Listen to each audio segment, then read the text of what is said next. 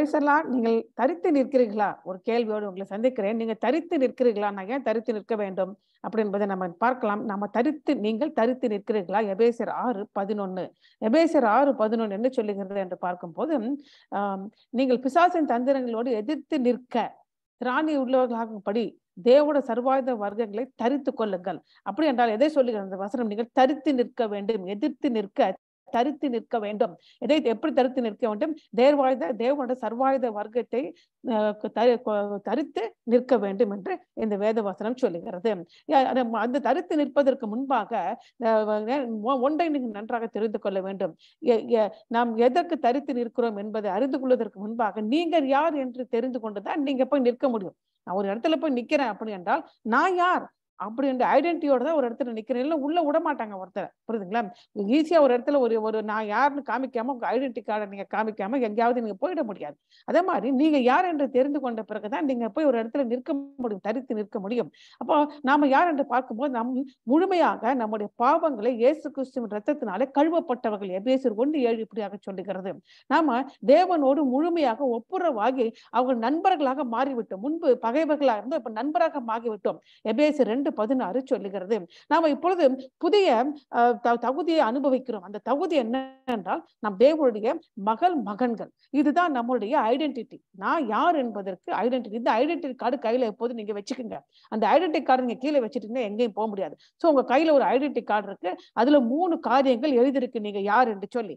அதை எடுத்துக்கொண்டு நீங்கள் தரித்து நிற்க வேண்டும். நீங்க ஏன் தரித்து நிற்க வேண்டும்? நான் ஏன் தரித்து நிற்க வேண்டும் என்றால் எனக்கு எதிராக வருகிற பிரச்சனை ஃபோர்ஸ் வந்து அது மனுஷ மனுஷங்களால இல்ல அது வானமண்டலத்துல பொல்லாத சேனை வானத்துல இருக்கிற பொல்லாத ஆவியினால வருது. அதனால நான் தேவனை சார்ந்து இருக்கிறேன் அதுக்காக நான் தரித்து நிற்கிறேன். தேவனை சார்ந்திருப்பது தரித்து நிற்பது. இரண்டாவது என்ன என்ன எதையும் எதை கொண்டு நிற்க வேண்டும் என்றால் தேவனோட சர்வாயுத வர்க்கத்தை பிடித்து கொண்டு நிற்க வேண்டும். ஏனென்றால் அப்போதான் இந்த யுத்தத்துல நான் ஜெயிக்க முடியும்.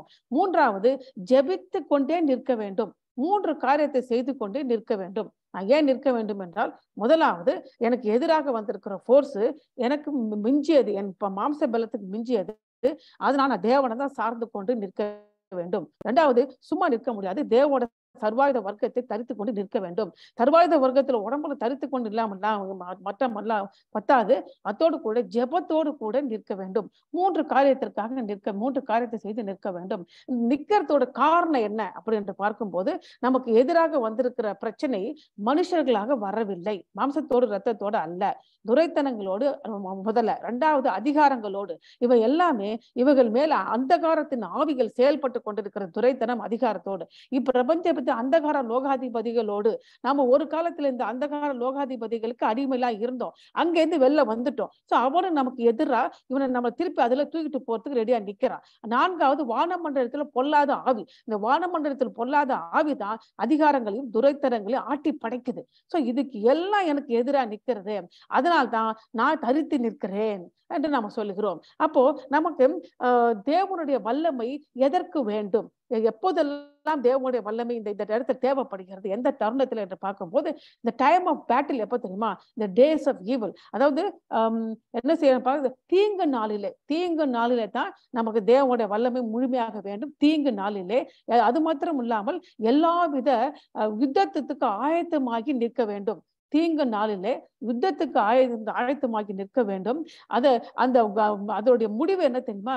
எல்லா சர சகலத்திலையும் அஹ், செய்வதற்கு செய்து முடிக்க திராணியாக இருக்கும். செய்து முடிக்கணும். பாதியிலே நின்றுடக்கூடாது அதனால்தான் தேவனுடைய வல்லமை நமக்கு வேண்டும். நான் தேவன வல்லமை ஏன் வேண்டும்னா நாட்கள் ரொம்ப நான் கெட்ட நாளா தீங்கு நாள நான் இருக்கிறேன். முதலாவது. ரெண்டாவது நான் யுத்தத்துல ஆயத்தமாய் நிக்கணும் நிக்கணும். அந்த அந்த கிரவுண்ட்ல நிக்கணும். மூணாவது நிக்கிறது மாத்திரமல்ல அது செஞ்சு முடிக்கணும். பாதியிலே தோத்துட்டு வெளில வரக்கூடாது. அதனால தேவோட வல்லமை எனக்கு வேண்டும். சரி தேவோட வல்லமை எதற்கு ப நம்ம உருவகப்படுத்துகிறார்கள்? ஆயுதத்தோடு தேவோட வல்லமையை உருவகப்படுத்துகிறார்கள். என்னென்ன ஆயுத என்றால் சத்தியம் என்னும் கச்சை நமக்கு இடுப்புல வேண்டும் அறையில கட்டி கொள்ள வேண்டும் நீதி என்று மார்க் அவசத்தை நம்ம நம்ம நெஞ்சில் நம்ம தரித்துக் கொள்ள வேண்டும். சமாதானத்தின் சுவிசேஷத்துக்கு ஆயத்தம் என்று பாதரட்சையை காலில் போட்டுக்கொள்ள வேண்டும்.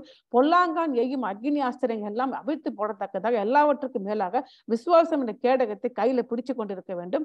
ரச்சனை என்னும் தலை சிராவையும் தலை சிராவையும் தேவ வசனமாக ஆவியின் பட்டையும் எடுத்துக்கொள்ள வேண்டும். இப்ப இந்த இடத்துல பார்க்கும்போது நிற்பது நிற்க வேண்டும் எடுத்துக்கொள்ள வேண்டும்.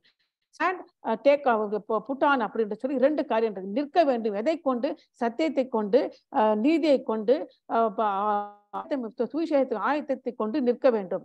எதை எடுத்துக்கொள்ள வேண்டும்? விசுவாசம் என்றும் கேடகத்தை சாரி விசுவாசம் என்றும் கேடகத்தை ரச்சனை என்றும் தலைசீராவை தேவ வசனமாக ஆவியின் பட்டத்தை எடுத்துக்கொள்ள வேண்டும். ஸோ நிற்க வேண்டும் எடுத்துக்கொள்ள வேண்டும். நான் ரெண்டா பிரிக்கிறோம். அப்போ நிற்க வேண்டும் என்று சொல்லி பார்க்கும்போது முதலாவது எப்படி நிற்க வேண்டும்? சத்தியம் என்ற கச்சை. சத்தியம் என்ற கச்சை என்றால் நாம் யார்? ஐடென்டி கார்டு உனக்கு கொடுத்துருக்கு. எல்லா இடத்துல ஐடென்டி கார்டு வச்சுக்கிட்டு தான் நிற்க வேண்டும் எங்கே எந்த வெப்பனை யூஸ் பண்ணா கூட ஐடென்டி கார்டு இருக்கணும். ஐடென்டி கார்டு வச்சுக்கிட்டு என்ன ஐடென்டி கார்டு நான் இப்போ தேவனுடைய மகன் மகள். அதான் ஐடென்டி கார்டு அதை வைத்துக்கொண்டு நான் எப்பொழுது என்ன செய்ய வேண்டும்? போய் பொய் பேசக்கூடாது. உண்மையை பேச வேண்டும். என் வாழ்க்கை உண்மையா இருக்க வேண்டும். அந்த எபேசர் அதிகாரத்துல நீ மற்றவர்களோடு பொய் பேசாதீங்க என்று எபேசர் நாலா அதிகாரத்துல தெளிவா சொல்றாரு. அப்போ நம்ம வாழ்க்கை பொய்யா இருக்கக்கூடாது. நம்ம பொய் பேசக்கூடாது. அப்படித்தான் சத்தியம் என்ற கட்சி உங்களுக்கு செயல்படும். பொய் பேசிட்டீங்கன்னா சத்தியம் என்ற கட்சியை க- க- அறுந்து விழுந்துரும் அப்போ நம்ம நிர்வாணம் நம்முடைய எல்லாமே மாம்சம் அசிங்கமாக வெளிப்பட்டு விடும். அதான் சத்தியம் என்றும் கட்சி நீதி என்ற மார்க்க வசம் முதலாவது திருப்பி ஐடென்டி கார்டு வச்சுக்கோங்க.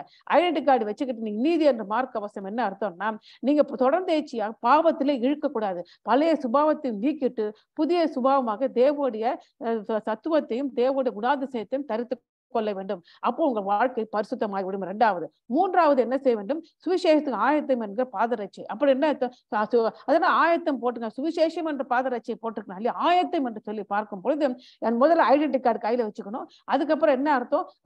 அதாவது தேவனுடைய சுவிசேஷத்தை புரிந்து கொள்கிறது தெரிந்து கொள்கிறது தெரிந்து கொண்டு ஆயத்தமாக சுவிசேஷம்னா என்னன்னு தெரியல.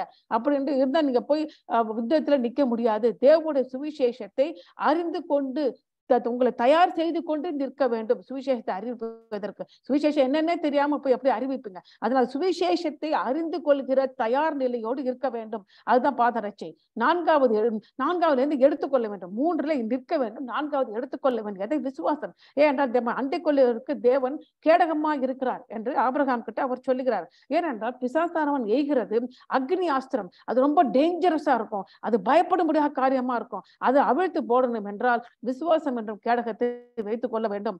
அது கையில பிடிச்சுக்குங்க. அடுத்தது ரச்சனை மன்றம் தலை சீரா திருப்பி ஐடென்டி கார்டு கையில வச்சுக்கோங்க. அடுத்து அந்த ஐடென்டி கார்டு கையில இருக்கிறதுனால உங்களுக்கு ஒரு தைரியம் வருது. என்ன என்றால் நான் யாரோடு இணைந்து இருக்கிறேன் என்றால் மறித்து உயிர் தெழுந்த எல்லாவற்றுக்கும் மேலாக அதிகாரம் உடைய தேவனோடு கூட நான் இணைந்து இருக்கிறேன்.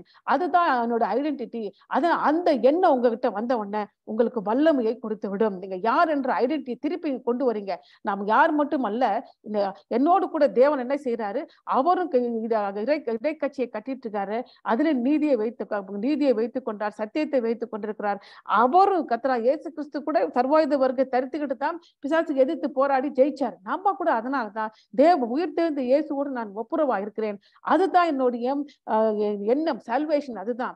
அந்த எண்ணத்தோடு கூட அந்த பவரை நான் என் வாழ்க்கையில பயன்படுத்த போகிறேன். அதுதான் சால்வேஷன் அது ஹெல்மெட் அந்த எண்ணம் வருது. ஆறாவது தேவனுடைய வசனம். தேவனுடைய வசனம் என்பது ஒரு ரீமா வேர்டுன்னு கூட சொல்லலாம். அந்த டயத்துல ஆண்டவர் கொடுத்துற ஒரு வசனம். அந்த வசனத்துல என்ன இருக்கு? எல்லா வசனத்திலும் எல்லா வசனத்துல இருக்கிற கண்டென்ட் என்னன்னு பார்க்கணும். தேவன் தான் எல்லாவற்றுக்கும் மேலாக அதிகாரி. அவரே உயிர் தெழுந்தவர். அப்படி என்கிற காரியம் தான் ஒவ்வொரு வசனத்திலும் இருக்கிறது. அப்போ அந்த வசனம் எல்லாவற்றையும் எதை சொல்லுகிறது? சுவிசேஷத்தை சொல்லுகிறது. அப்போ நீங்க அந்த வசனத்தை வேக வேகமாக கையில பிடித்து கொண்டு அதான் டிஃபென்ஸ் அஃபென்ஸ் அழிக்கிற ஒரு பிசாசை அழிக்கிற ஒரு வெப்பன் அந்த சுவிசேஷம் தான். அந்த சுவிசேஷத்தை எவ்வளவுக்கு எவ்வளவு எவ்வளவு அறிவிக்கிறீர்களோ அவ்வளவு அறிவு அவ்வளவாக பிசாசின் பிடியில அடிபட்டிருக்க ஜனங்கள் எல்லாரும் விடுதலை பட்டு வெளில வந்துகிட்டே இருப்பாங்க.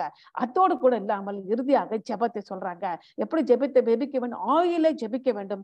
ஆவியானவர் ஊங்கி ஊந்து தள்ள வேண்டும். ஆவியானவர் டைரக்ஷனை கொடுக்க வேண்டும். ஆவியானவர் உதவி செய்ய வேண்டும். அது மட்டுமல்ல உறுதியோடு ஜெபிக்க வேண்டும். வேண்டும். ஆவியின் துணியோடு ஜெபிக்க வேண்டும். உறுதியோடு ஜெபிக்க வேண்டும். மற்றும் அல்லாதபடிக்கு நம்ம சுவிசேஷ வசனத்தை தைரியமாக பிரசங்கின்படியாக பிறருக்காகவும் உங்களுக்காகவும் நீங்கள் ஜெபித்துக் கொள்ள வேண்டியது ஜெபம் உங்களுக்கு முக்கியமாக இருக்க வேண்டும். ஏனென்றால் ரெண்டு குழந்தையர் பத்து மூணு நாள் இப்படியாக சொல்லுகிறது. நாம் மாம்சத்தில் நடக்கிறவர்களாக இருந்தாலும் மாம்சத்தின் பதி போர் செய்கிறவர்கள் அல்ல. எங்களுடைய போராயுதங்கள் மாம்சத்துக்கு ஏதுவாக இராமல் அறங்களை நிர்மூலமாக்குவதற்கு தேவ பலனுளாக இருக்கிறது. நான் உங்களுக்கு ஜெபிக்க வரும். அப்போ இந்த நாள்ல கூட எங்களோட சர்வாயுத வர்க்கம் எப்பட்டது என்று சொல்லிக் கொடுத்ததற்காக நன்றி. எங்களுக்கு எதிராக வந்திருக்கிற அல்ல இந்த அந்தகார வல்லமைகளை ஜெயிக்க எங்களுக்கு பலன் கொடுப்பீராக. நண்பர் இயேசுவின் நாமத்தில் செபிக்கிறேன் பிதாவே. ஆமே கர்த்தர் உங்களை ஆசிர்வதிப்பார் ஆசீர்வதிப்பாராக ஆமென்.